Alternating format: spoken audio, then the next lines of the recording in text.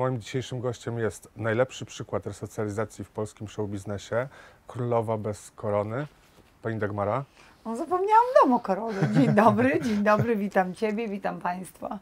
W więzieniu była pani sarenką czy puszkarą? Nie ma już czegoś takiego. Puszkowanie u kobiet było za komuny, to już się skończyło, no. Czegoś takiego nie ma. Mężczyźni grypsują, kobiety nie. Nie grypsują. Nie, to puszkują.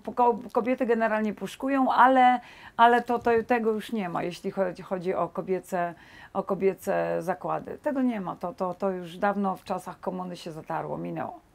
Ja mam takie pytanie, po co w ogóle napisała pani tę książkę za kratami? Bo tam jest, no szczerze mówiąc, dużo hardkoru, dużo szczerości, dużo ostrych... e, Mało. Mało? Bo dużo zostawiłam, do wielu rzeczy nie, nie pisałam. Mhm. A po co ta książka powstała? Nie wiem, no, no nie, nie, nie było u mnie jakiegoś konkretnego celu, że o proszę, tu ukierunkowujemy się to i dlatego i dlatego jest powód i robimy. Nie, no po prostu e, poszła pierwsza część o moim życiu i jakby konsekwencją tej pierwszej e, była druga. Bardzo dużo ludzi prosiło, pisało. E, świetnie się sprzedała ta pierwsza książka, świetnie się czytała, bardzo lekko. E, ja nawet sama byłam rozbawiona, wzruszona, kiedy ją czytałam. Więc, e, więc jakby bardzo, bardzo fajny był odzew e, czytelnika i, i prosili, tak, bardzo, bardzo były tysiące wiadomości, dziesiątki tysięcy, pani Dagmaro, druga część, druga część. No i mówię, no dobrze, no coś by przydało się o tej drugiej e, e, stronie mocy, o tym, o tym, o tym mroczniejszym o, okresie mojego życia. No i tak napisałam o tym, e, o tym co, co się tam troszkę działo, tak. E, no, tak, taka była wola czytelników. No. Dla mnie to było niesamowite, że ta pierwsza część przez ile tygodni była w top 3 sprzedawanych 12 książek? dzień? No długo, prawie 3 miesiące. Aha. Dlaczego niesamowite? A co ty, Wiktor, nie wierzysz we mnie, czy ja? Nie, no Dlaczego oczywiście... niesamowite? nie. A, bo co miało? Dlaczego miało nie No? Olgi Tokarczuk tam nie było. No Jako- dobrze, no Olga Tokarczuk y, jest cudowna, wspaniała i tak dalej. I, I wiemy, kim ona jest. Każdy ma innego y, program, każdy ma innego widza, każda książka ma innego czytelnika, no. I, i, I mnie, no, więcej młodzieży, tak, jest zaangażowane, w, mo- zaangażowane więcej młodzieży w moją osobę i, i no dlatego tak, tak to się przełożyło, no. No i fajnie się przełożyło, nie mówię, że nie. Dziękuję wszystkim. Mówimy o konkretnych liczbach. Po co mówić? Dużo. No ja wiem ile i trochę mi szczęka opadła. I zbieram ją e, dalej, dalej z podłogi. Brakuje pani kamer? Nie. Dlaczego? Nie wiem, no. Y, Chyba już czułam troszeczkę przesyt tym wszystkim. Poza tym ja tego nie lubię, ja się nie nadaję. Y, Nie nadaję się do, do, do tego życia. To nie jest takie moje życie, żeby być taką, taką powiedzmy, no taką osobą, e, no ja nie wiem, jakąś celebrytką u nas w kraju. Trzeba, trzeba uczestniczyć w tym życiu, trzeba latać od ścianki do ścianki, trzeba gdzieś być, trzeba, trzeba brylować e, w tym towarzystwie i, i, i trzeba się w tym dobrze czuć. Ja się z tym nie czuję e, dobrze. Program wyszedł tak właściwie to ja swoją misję spełniłam. Ja po tym, co mnie spotkało, e, to to cała, cała mm, zła, zła, zła przygoda z kryminałem, tak? E, Więc ja chciałam wszystkim udowodnić, że ja Wam jeszcze pokażę, bo wielu już na mnie położyło krzyżyk. E, No, już nie będzie królowa. Jak wyjdzie z pudła, nie będzie królową, bo, bo u mnie w mieście to ja zawsze byłam królową. Więc e, chciałam troszkę zagrać wszystkim na noskach, na nosku, e, co mi się skutecznie udało. Swoją misję w telewizji zrobiłam, wszystkim pokazałam, że mogę, że to ja robię ze swoim życiem, co ja chcę i, i, i to, drodzy Państwo, jest ważne. To my robimy, my kierujemy swoim życiem i to my jesteśmy sami sobie panami. Więc ja już swoje zrobiłam, tak? I jakby troszkę się zmęczyłam już, y, ale przede wszystkim zdrowie mi nie pozwalało. D- Bardzo doskwierały mi nogi. Ja już byłam też mniej aktywna. Nagrywaliśmy program. Wiadomo, trzeba być w ruchu, muszą być emocje, musi być, musi być akcja. Ja ciągle już szukałam miejsca do siedzenia. Przytyta byłam, więc... y, No ale teraz akurat no już... dobrze, więc troszkę ja odzyskałam wigoru, Aha. tak? Ja byłam troszkę przytyta i byłam już umęczona. Bardzo mnie bolały nogi, więc tylko szukałam, gdzie, gdzie usiąść. Przekładało się też to na, na, na, moją, na moje samopoczucie, więc ja dlatego się zdecydowałam troszkę odejść i odpocząć. no trzeba odpocząć, ja mam 50 lat yy, prawie. No, I co z tego? No, no, no ale był, no był moment, że potrzebowałam odpoczynku. Yy, teraz jest fajnie, nabiał, nabrałam wiatru w żagle, znowu jest okej, tak? Yy, znowu dobrze się czuję, o czego dowodem jest, że przyjęłam Twoje zaproszenie. Yy, ale wtedy był moment, w którym ja już chciałam odpocząć. A przyszedł ktoś do pani powiedział, "Mm, Dagmara, pomyliłem się, rzeczywiście jesteś, jesteś królową, czy, czy, czy to, co się wydarzyło w przeszłości, nie ma jakby zupełnie w tym momencie znaczenia? Wiele osób e, patrzyło przez pryzmat tych takich początkowych artykułów, bo to przecież był, była jedna wer, e, wielka feria artykułów e, i, i tylko burdel mama w telewizji, kryminalistka, to, to tego się już czytać nie dało. Zresztą do dziś jeszcze cały czas gdzieś kąsają, ale to, to właściwie mnie to nie obchodzi. My nie lubimy poznawać, my lubimy się dowiadywać. No i potem przez to już patrzymy przez to czarne szkiełko na drugą osobę i tak było też ze mną. E, Bardzo wiele osób po prostu skreśliło mnie od razu.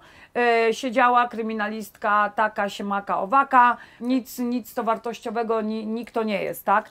Ale po tym, no, zaczęły, zaczęli się ludzie przekonywać do mnie, zresztą to przedłożyło się też na oglądalność programu, jak mnie ludzie pokochali, tak?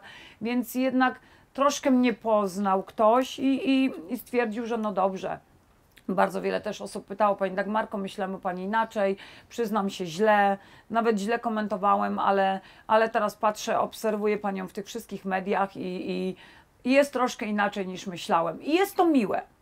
Nie mówię, jest to fajne, jest to miłe. A ma pani świadomość, że bez pani ten program by nie istniał? Nie, no oczywiście, żeby nie istniał. Nie, on by istniał, nie, no. Nie, pierwsze Nie, no słowo się- oczywiście, żeby nie istniał tak długo.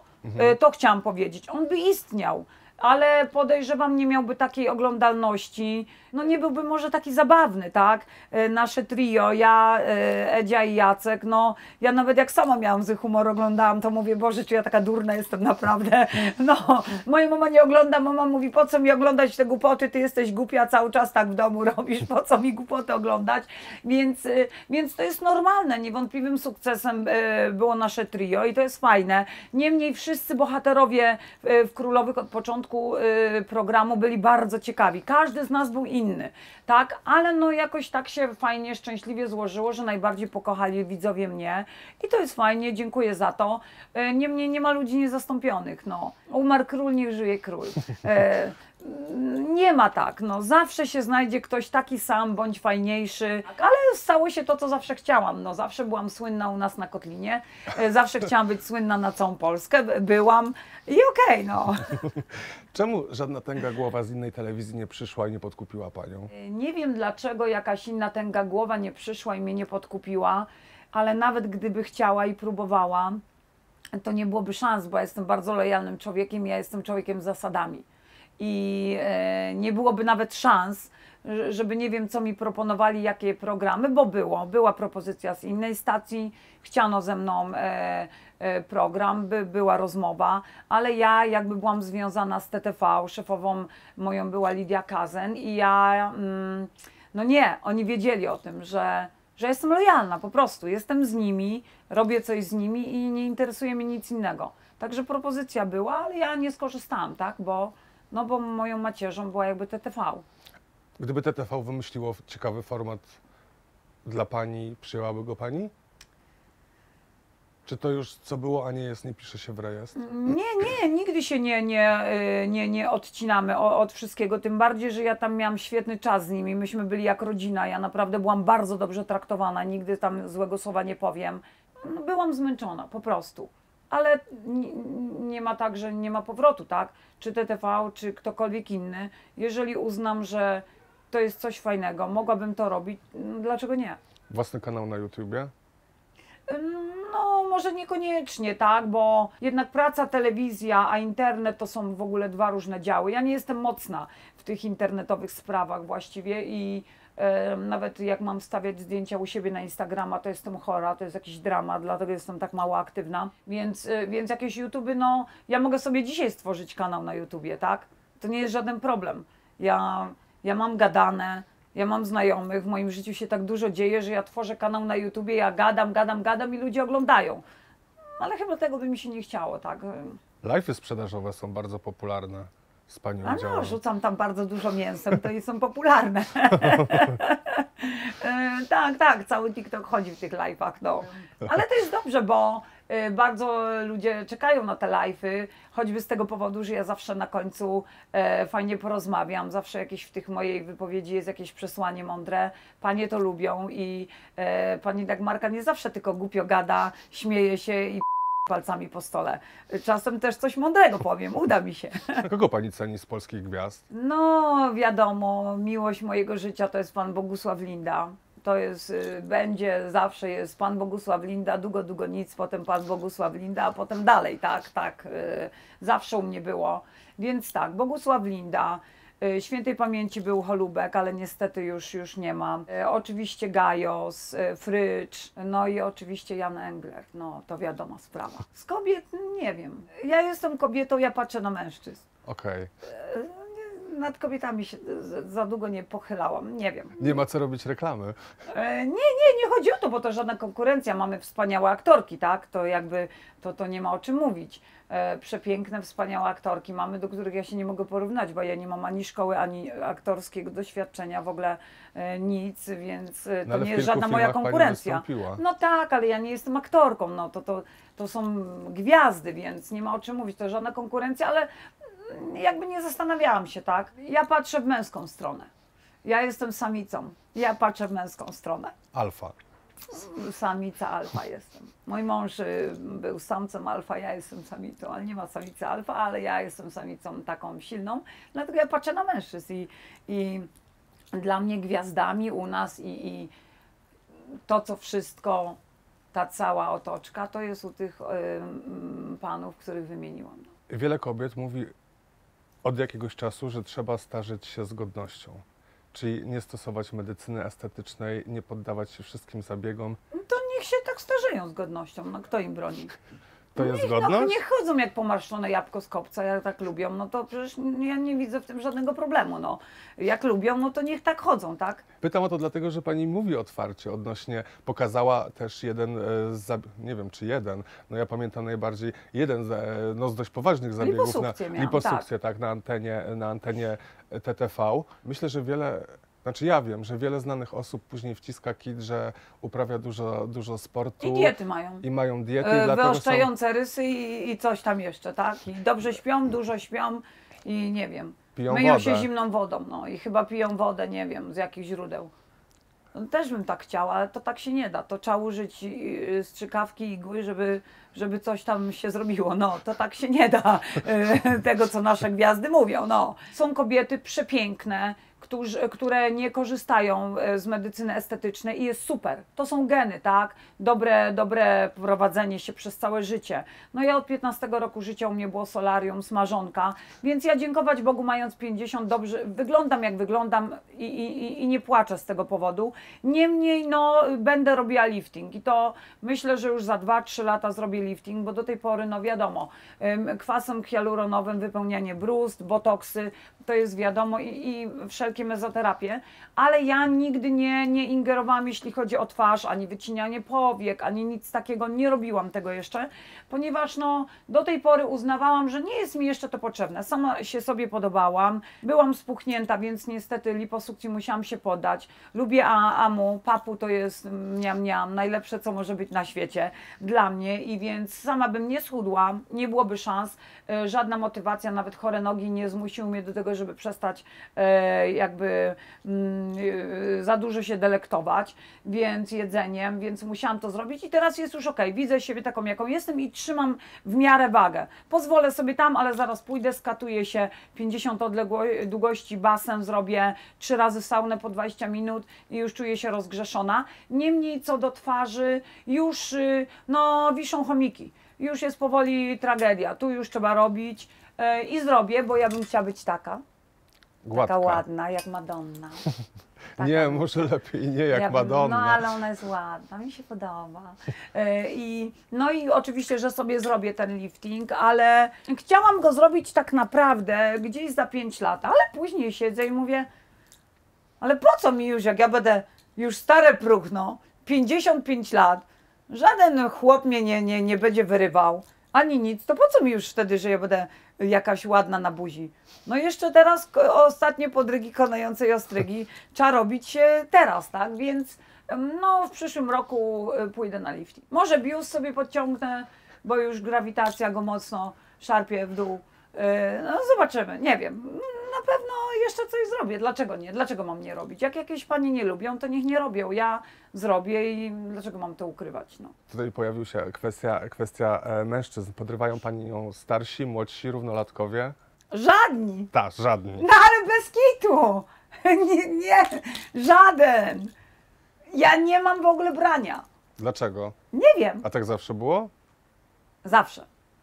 Z kolegami z klasy wszystkie ja marzyłam o tym, żeby dał jakąś karteczkę, że, czy chcę z nim chodzić, ale nigdy nie było. Chodziliśmy się bić i kraść śliwki i czereśnie. I ja miałam takich kolegów e, i, nigdy nikt ze mną nie chciał chodzić, ja byłam ich kumplem. Potem było tak samo, potem miałam poważne dwa związki, no wiadomo, z Kazimierskim e, ponad 20 lat, więc to nawet nikt nie śmiał spojrzeć w moją stronę. I chyba też gdzieś to się ciągnie u nas w mieście dalej, bo przez mojego męża tak jest, bo to koledzy mi mówią, że nie jeden, nie, no Paweł nie, ale mój mąż ma swoje życie, e, on nie ma nic do mojego, e, ale dalej no y, nikt na mnie nie pali tak poważnie i ja też tak nie jestem zachęcająca, bo kobiety to tak y, kokietują, umieją, patrzą na tych mężczyzn, no tak y, animują tych mężczyzn. A ja to jak na mnie spojrzy jakiś, to ja zaraz jak buchaj spojrzę źle i już facet idzie. Ja nie jestem dobra w podrywaniu, no i jestem sama, no.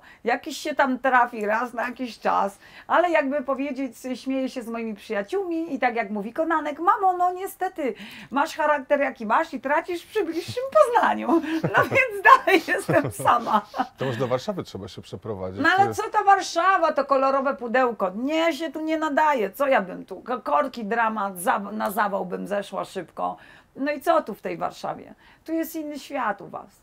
Wy gonicie tylko za pieniędzmi i za, no, za takimi innymi rzeczami, za którymi ja nie gonię. To za czym goni królowa życia? No ja już chcę spokój, ja mam fajnie, ja mam słońce, Yy, jak jestem tu to wiadomo, przy, przylatuję do rodziny, ja siedzę jak lump, cały dzień na słońcu, później idę, byle jakie łapcie na nogi ubiorę, byle jak chodzę yy, po tym Egipcie czy gdziekolwiek, gdzie wyjeżdżam i mi się to podoba.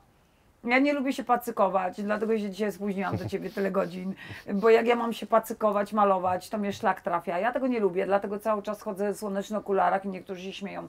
E, nawet wieczór, albo śnieg w słonecznych okularach. No ale no, jak człowiek już oka nie zrobi, rzęsy nie doklei, to nie jest tak fajnie, więc się zasłaniam okularami często, gęsto.